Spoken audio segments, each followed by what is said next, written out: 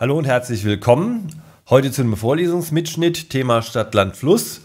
Die Frage ist, wie komme ich vom objektorientierten Modell zur objektorientierten Programmierung? Das ist ja für uns die Vorstufe, um in diesem Kurs dahin zu kommen, dass wir die Objekte aus der Datenbank holen. Ja, und das Ganze machen wir mit einer objektorientierten Programmiersprache. Und dementsprechend müssen wir uns erstmal überlegen, wie sieht es überhaupt aus in einer objektorientierten Programmiersprache. Ich habe mal ein ganz einfaches Datenmodell mitgebracht. Also ist relativ simpel. Wir haben hier Stadt, Land und Fluss. Ja, ähm, dann gibt es hier Personen, ja, die können jetzt geboren sein in Städten oder die können wohnen in Städten. Und dann gibt es in den Städten, ja, die Städte liegen in Ländern, ja, die Länder wiederum haben Hauptstädte, beziehungsweise jedes Land hat eine Hauptstadt.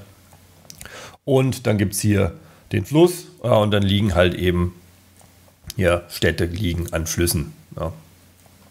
Das Ganze ähm, ist so aufgebaut, dass es hier so eine Superklasse gibt, also so ein Objekttyp, von dem alle erben oder zumindest Stadt, Land und Fluss erben, ähm, wo dann entsprechend schon ein Name vorgesehen ist. Ja, dann haben wir hier die Personen, die haben auch so ein paar Attribute. Das gucken wir uns nachher im Detail an.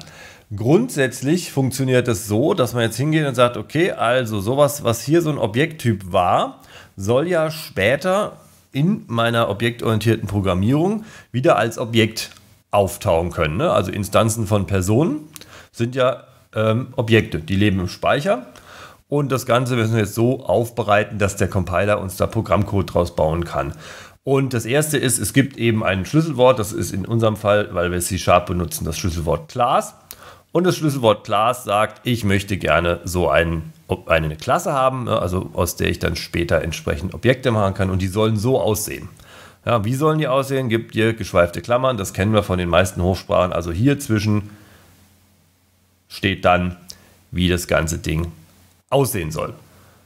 Dann wir, sehen wir hier, gibt es so ein paar primitive Attribute, also Attribute, deren Typ ein primitiver Typ ist. Das sind jetzt hier Zeichenketten, Vorname und Nachname. Und sehen wir, alles klar, die tauchen hier dann auch auf. Die stehen einfach hier drin. Das sind jetzt meine Attribute, String, Vorname, String, Nachname.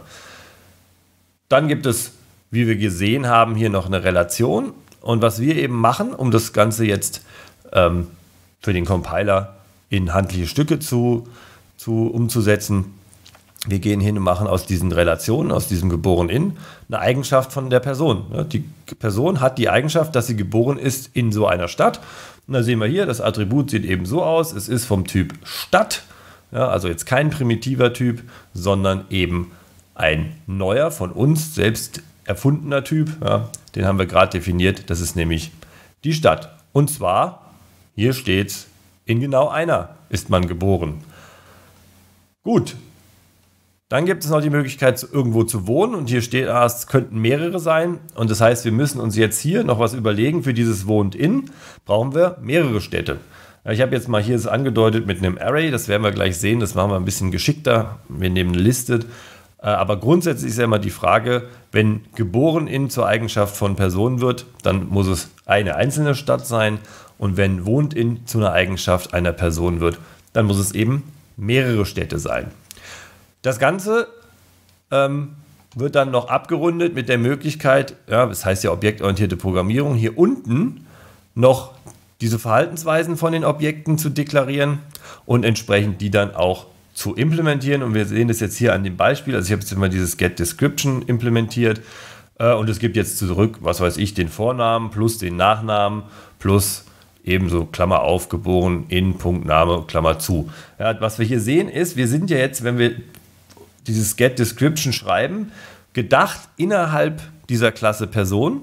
Na, nicht nur gedacht, sondern wir stehen da. Und das heißt, wir sind gedacht innerhalb eines Objektes vom Typ Person.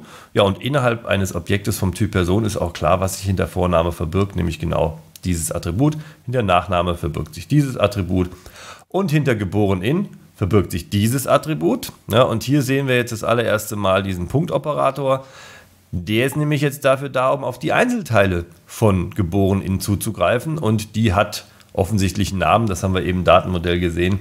Ähm, das heißt also, wenn ich jetzt hier den Namen der Stadt, in der eine Person geboren ist, zugreifen möchte, dann nehme ich mir einfach diese Eigenschaft geboren in, greife darauf zu mit einem Punktoperator und hole mir daraus den Namen. So funktioniert es grundsätzlich. Wir gucken uns das gleich mal an, wie das im Visual Studio funktioniert. Dazu haben wir uns ein paar Instanzen überlegt. Also es gibt hier so ein paar Menschen, Otto, Erwin, Jan, Klaas und so weiter. Äh, die sind geboren in irgendwelchen Städten. Sie sehen hier, da gibt es so eine Relation, geboren in, das ist immer so eine Stadt. Die können in irgendwelchen Städten wohnen. Ne? Also hier ist Otto wohnt in Essen, Pitt wohnt in Frankfurt und in Mülheim und so weiter. Ne? Die Städte liegen jetzt hier alle in unserem Fall in dem Beispiel in Deutschland. Die können aber auch hier, das sehen wir da, die liegen eben auch an den Flüssen.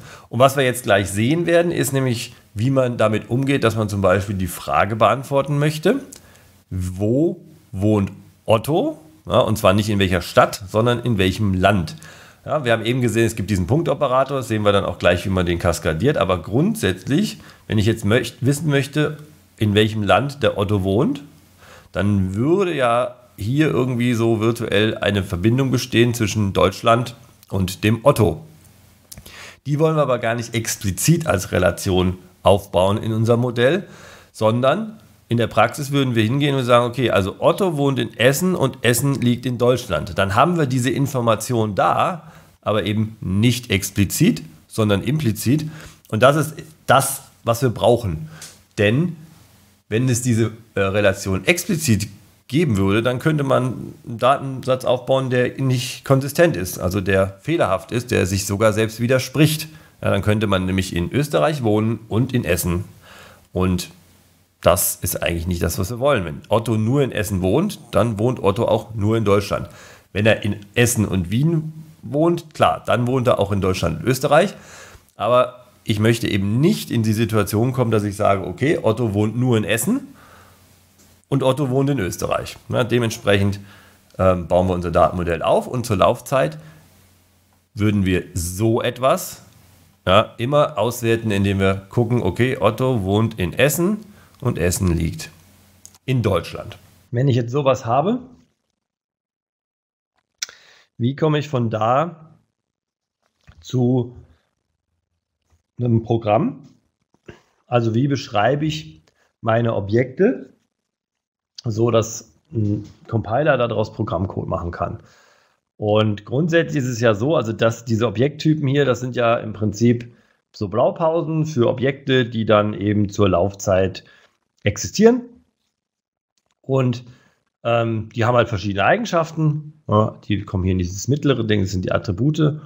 Ähm, und dann kann man hier noch ähm, Sachen dran programmieren, also quasi äh, Verhaltensweisen. Und das gucken wir uns dann äh, gegen Ende an. Jetzt schauen wir erstmal, dass wir diese Struktur, so wie sie da ist, ähm, in C-Sharp übertragen bekommen, sodass wir dann in C-Sharp den Programmcode also im Programmcode von C-Sharp, die Objekte instanzieren können. Und nach diesem Schnelleinstieg, wie man die Objekttypen nach C-Sharp portiert, werden wir uns im nächsten Abschnitt damit beschäftigen, wie man die dann mit Eigenschaften ausstattet, also mit den Properties in C-Sharp.